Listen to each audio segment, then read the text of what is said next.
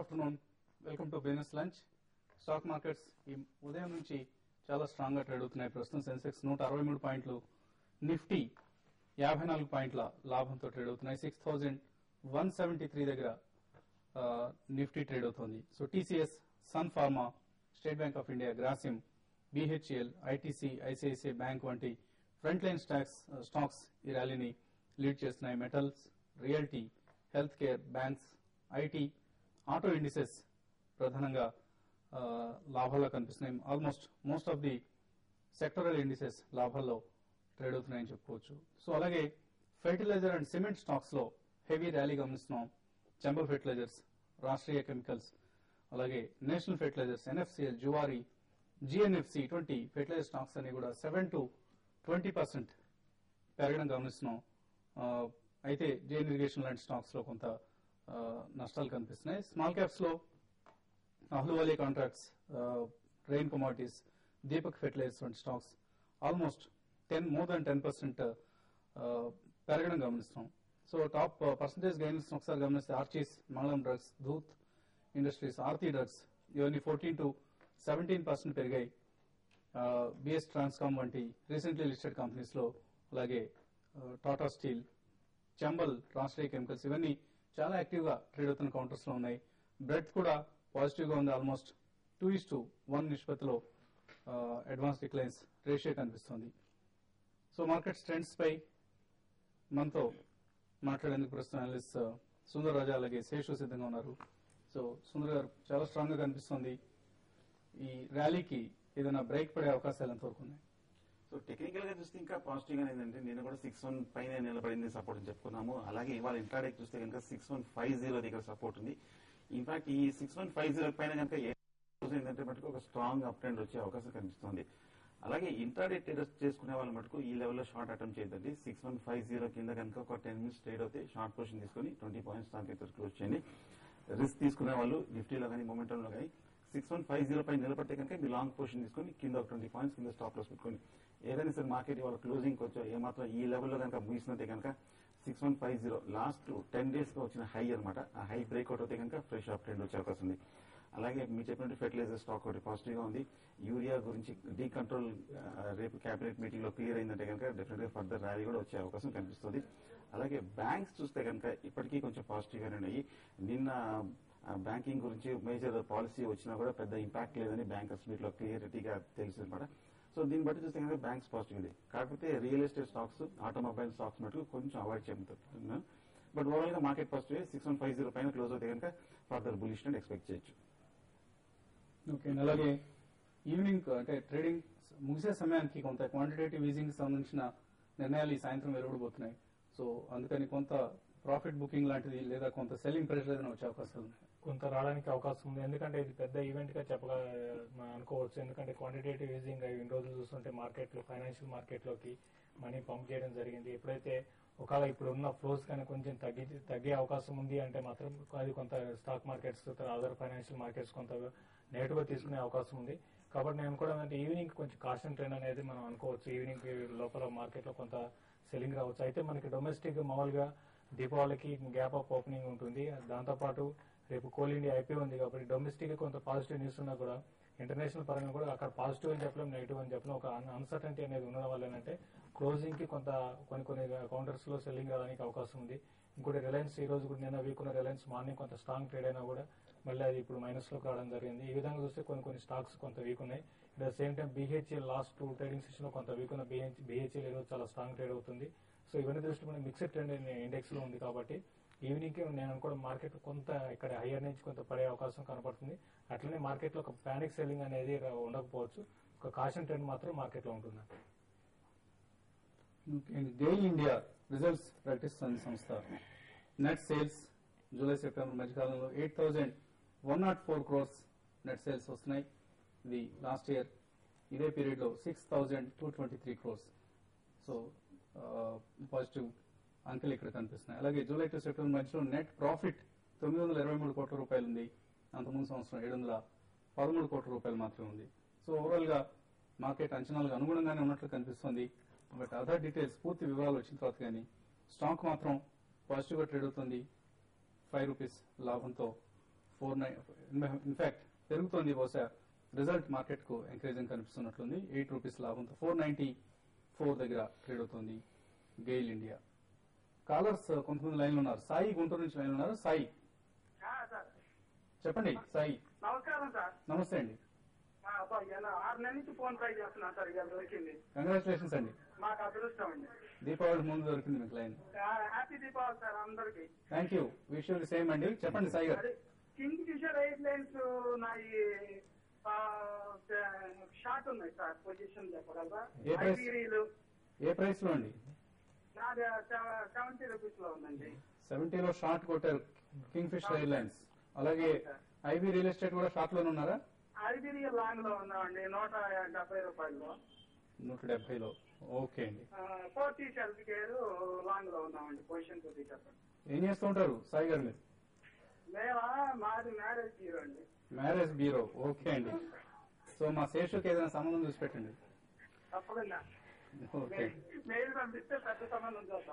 Okay అండి okay అండి. Thank you okay అండి. First IB real estate one సెవెంటీలో long ఉన్నారు. చాలా ప్రాఫిట్లో ఉన్నారండి. స్టాక్ అయితే నిన్న నిన్న కూడా టూ హండ్రెడ్ ఆ లెవెల్ నుంచి కొంత కరెక్ట్ కావడం జరిగింది. ఎప్పుడైతే ఇంట్రెస్ట్ రేట్ కంటిన్యూగా పెంచడం అనేది దీనికి కొంత నెగిటివ్ ఉంది. అయితే ఇప్పుడు అరౌండ్ వన్ ఎయిటీ ఫైవ్ దగ్గర స్టాక్ అయితే చాలా స్ట్రాంగ్ సపోర్ట్ ఉందండి. So one eighty one eighty eight one eighty eighty ఫైవ్లో మంచి చాలా స్ట్రాంగ్ సపోర్ట్ ఉంది.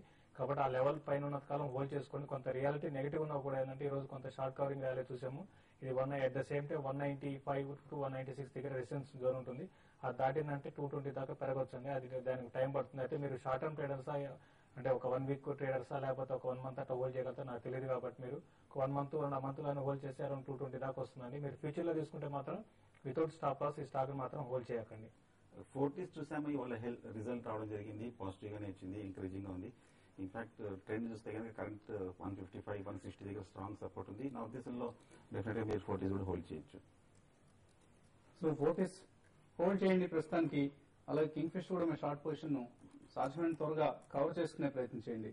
సుబ్బారావు ఎనదర్ కాలర్ గుంటూరు నుంచి లైన్ ఉన్నారు. సుబ్బారావు గారు. నమస్తే అండి.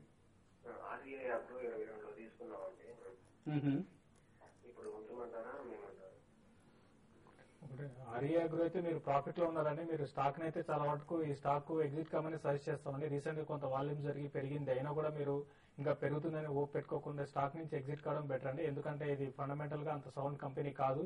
కాబట్టి ఏంటంటే న్యూస్ బేస్డ్ ఈ స్టాక్ పెరుగుతుంటుందని రీసెంట్గా చూస్తే ఆయన నుంచి చాలా మంది ఇన్వెస్టర్స్ కూడా ఇందులో స్టక్ అయిపోయినారు. కాబట్టి బెటర్ ఏంటంటే మీరు క్విక్గా ఎగ్జిట్ కావడం సజెస్ట్ చేస్తాను ఓకే నారీ అగ్రో నుంచి త్వరగా బయటపడే ప్రయత్నం చేయండి. ట్వంటీ సెవెన్ రూపీస్ ప్రస్తుతం ట్రేడ్ అవుతుంది. స- రఘు కడప నుంచి నెక్స్ట్ కాలర్ లైన్ ఉన్నారు. రఘు గారు. ఆ, చెప్పండి రఘు. కడప ఇదండి థామస్ కుక్ అండి. ఏ రేట్లో బై చేయొచ్చాను ఏదండి? ఏ కంపెనీ అండి? Thomas Thomas Cook Thomas Cook buy చేద్దాం అనుకుంటున్నారు. లాంగ్ టైం కోసం. అవునండి. త్రీ ఇయర్స్ త్రీ ఇయర్స్ పర్స్పెక్టివ్తో థామస్ కుక్ బై చేయొచ్చు సో ఈ ట్రావెల్ ఏజెన్సీ కంపెనీ చూస్తే కనుక లాస్ట్ టెన్ డేస్గా కొంచెం వీక్ గానే కనిపిస్తుంది సెవెంటీ నైన్ రూపీస్ నుంచి సిక్స్టీ ఫైవ్ వరకు. కాకపోతే ఈ సెక్టర్లో ఈ స్టాక్ కొంచెం మొనోపలి అనమాట లైక్ ప్రాఫిటబిలిటీ చూస్తే కనుక లాస్ట్ త్రీ ఫోర్ ఇయర్స్ కానీ ట్వంటీ ఫైవ్ క్రోస్ నుంచి థర్టీ క్రోస్ మధ్యన కొంచెం ఊహిసలాడుతుంది డెఫినెట్గా కంపెనీ మంచిదే. కాకపోతే సెక్టర్లో ఏమాత్రం కొంచెం పాజిటివ్ న్యూస్ వస్తే కనుక అప్పుడు ఈ ట్రావెల్ ఏజెన్సీ కంపెనీస్ కూడా పెరిగే అవకాశం ఉంది. బై చేయాలనుకుంటే కనుక మీరు కరెంట్ రేట్ ఒక sixty to sixty three rupees దగ్గర మీరు బై చేయొచ్చు ఒక చిన్న డిప్లో. ఓకే అండి తప్పకుండా బై చేయండి లాంగ్ టర్మ్ ఉద్దేశంతో అంటున్నారు కాబట్టి Thomas Cook. Next caller hello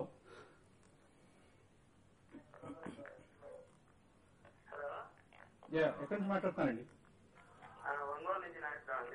చెప్పండి నాగేశ్వర గారు పవర్ ట్విట్టర్లో ఉన్నాం సార్ పవర్ గ్రిడ్ రే- ఆ, రేపు రిజల్ట్ ఇస్తా ఉంటున్నారు కదా ఎలా ఉంటుందని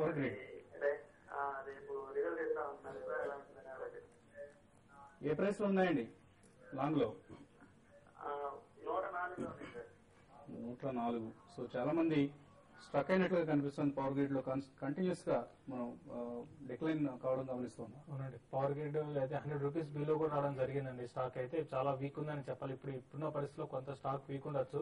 ఇక అట్లనే బాగా ఇంకా ఇక్కడ నుంచి ఒక టెన్ ఫిఫ్టీన్ పర్సెంట్ డౌన్ అవుతుందని చెప్పలేము. ఇప్పుడున్న పరిస్థితిలో మీరు వన్ నాట్ ఫోర్లో తీసుకున్నారు కాబట్టి మీరు హోల్డ్ చేయండి ఇది ఐపీఓ కూడా వస్తుంది కాబట్టి మీకు ఇక్కడ నుంచి వచ్చినాకే స్టాకులు మళ్ళీ పెరిగే అవకాశం ఉంది. హోల్డ్ చేయమని సజెస్ట్ చేస్తాను. పెద్ద డౌన్ సైడ్ కూడా ఉండకపోవచ్చు. ఫస్ట్ ఏంటంటే సెక్టర్ ఒకటి చాలా నెగిటివ్ ఉంది.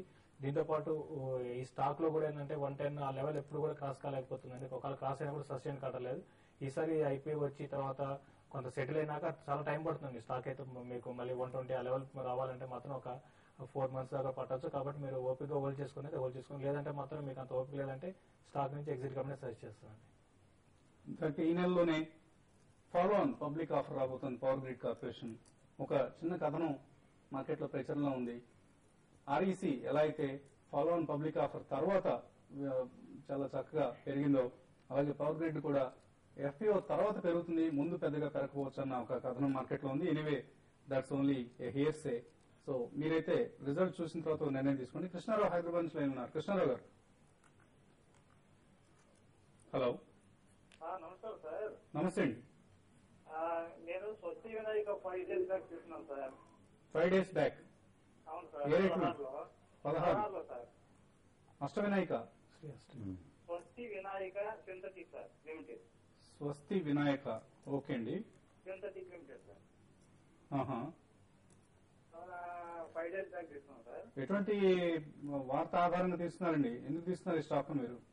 ఆ, ఎవరో ఫ్రెండ్ చెప్పారని తీసుకున్నాను సార్. ఫ్రెండ్స్ చెప్పారని తీసుకుంటే ఎలా అండి ఫాలో అవుతారని నా ఫ్రెండ్ ఎవరో చెప్పారని చెప్పి నేను తీసుకున్నాను. ఎక్కడ ఇవాళ దాన్ని నేను ఇప్పుడు చేతులు కాల్చుకున్నాను అనిపిస్తాయి అంతే కదండి ఇటువంటి పెన్నీ స్టాక్స్లో మనం ఎప్పుడు చెప్తూ ఉంటాం చాలా జాగ్రత్తగా ఉండాలండి.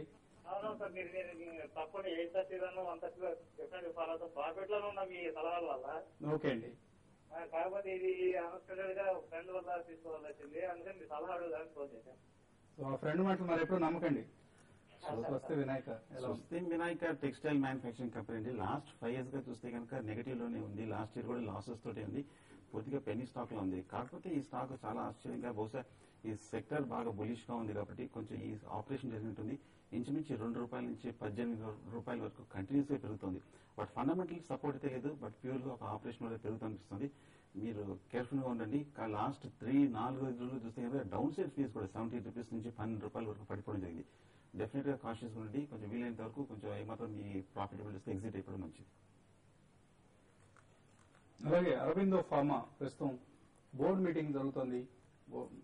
మరికొద్దిసేపట్లో బోర్డు మీటింగ్ ముగిసే అవకాశాలు ఉన్నాయి బహుశా బోర్డు మీటింగ్ తర్వాత మేనేజ్మెంట్ మనకు అందుబాటులోకి వచ్చే ప్రయత్నం చేస్తున్నాం. సో ప్రోగ్రామ్ ముగిసేలోగా బోర్డు మీటింగ్ అయిపోతే మేనేజ్మెంట్ కాంటాక్ట్ చేసే ప్రయత్నం చేస్తాం. ఇప్పుడు చిన్న బ్రేక్ తీసుకుందాం.